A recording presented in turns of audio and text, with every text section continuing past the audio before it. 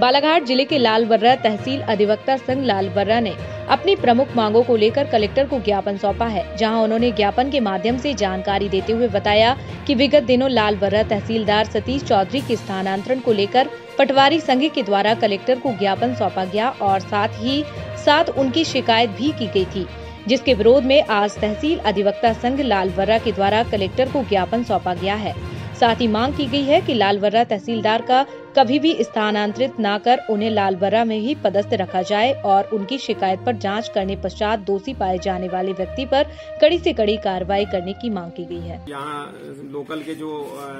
मतलब नेता एवं कर्मचारी, अधिकारी और कलेक्टर महोदय के समक्ष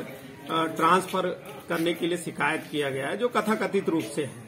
और जबकि जो तहसीलदार जी हैं बहुत अच्छे हैं और वो सारे कर्म अपने जो है उनके वो समय पे आते हैं, समय पे काम कर रहे हैं सारे निपटारे, बंटवारा, नामांतरण के सारे काम अच्छे सुचारू रूप से चल रहे हैं। और जो तथाकथित लोग हैं, जिनको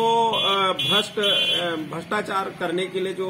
समय मतलब भ्रष्टाचार करने का जो अवसर था, वो उनका समाप्त हो गया। तो उन लोगों के द्वारा जो शिकायत की गई है, वो निराधार है, उसको खारिज किया जाए और जो तहसीलदार जी हैं, उसको यहाँ पे ही रखा जाए। इस संबंध में आ, मतलब जो है हम हमारा ज्ञापन है।